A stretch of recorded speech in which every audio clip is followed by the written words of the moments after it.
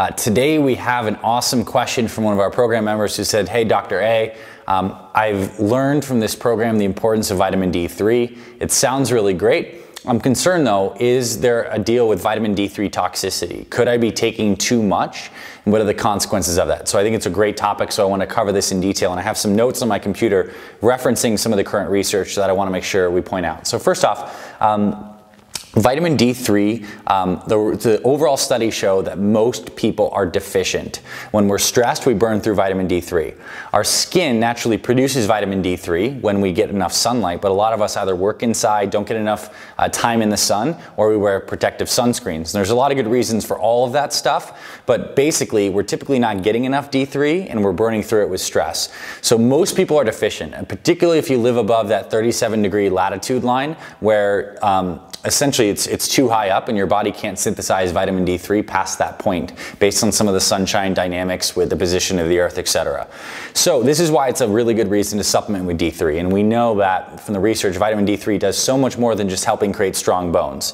Yes it does, vitamin D3 does help increase calcium absorption in the body so it does contribute to bone health but it's also implicated in helping keep our nerves and muscles healthy, our immune system healthy and in many ways it acts almost like a hormone signaling different things throughout the body so it's a very, very essential vitamin to make sure we get enough of. That's why we recommend it as a staple supplement inside Fit Father 30X.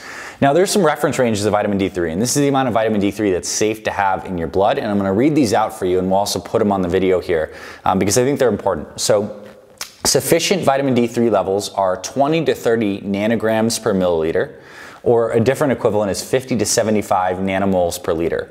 And the reason we have to have both of those up there for sufficient ranges, and we'll put these on the video, um, is that different labs use different reference ranges. So if you were to get your D3 tested, they would either do it in nanograms per milliliter or in nanomoles per liter. But essentially that's sufficient. Um, a safe upper limit is up to 60 nanograms per milliliter or 150 nanomoles per milliliter um, or per liter and then toxic is above 150 nanograms per milliliter or above 375 nanomoles per liter. Now, that at first glance might not mean too much to you, but this next statement will.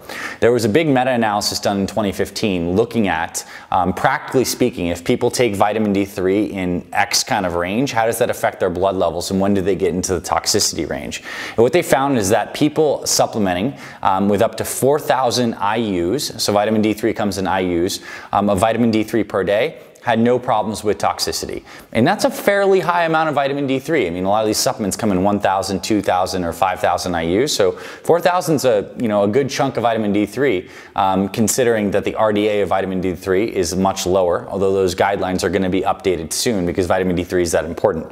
So with the D3 at, that, at, those levels, there was no toxicity found.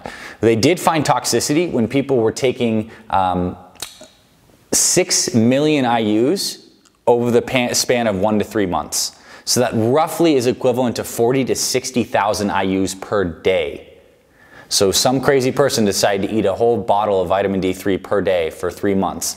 And they did experience symptoms of toxicity. And several people have had this. So my point of sharing this is that the recommended intakes around that 1,000, 2,000, 4,000, 5,000 IUs per day, not going to cause a problem.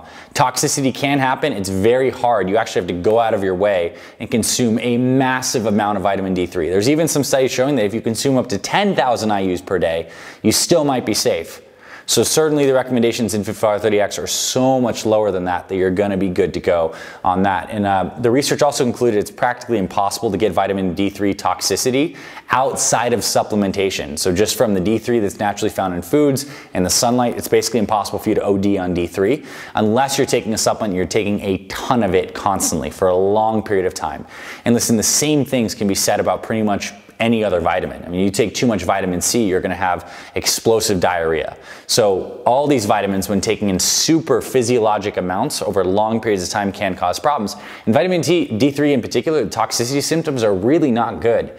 So if you were to take that 60,000 IUs um, of vitamin D3, which is almost like a half a bottle or a full bottle of D3 um, every day for one to three months, what will happen is your body's blood calcium levels are going to increase. It's going to cause so much calcium absorption that can actually cause problems where your bones might get more brittle because your body freaks out. It has so much blood calcium. It'll start breaking down some of your bones. It'll affect your kidney health. It could affect your heart's ability to contract. A lot of bad things happen. So essentially, don't be crazy. don't take um, a whole bottle's worth of vitamin D3 and you're overall going to be fine. And the research shows that vitamin D3 overall is a very, very safe supplement and has a ton of health benefits. That's why we include it as a staple supplement. So you'd have to go out of your way really to, you know, go toxic on vitamin D3. And that being said, everyone's body is a little bit different and vitamin D3 is a very easy test. Your doctor can run a serum vitamin D3 test and we can see um, the levels of your 125 dihydroxycholecalciferol, which is the vitamin D3 molecule. You can see how much of that is in your blood, and then you can work on improving your ranges, but overall you should be fine with the Fit 30X recommendations. Hope this helps.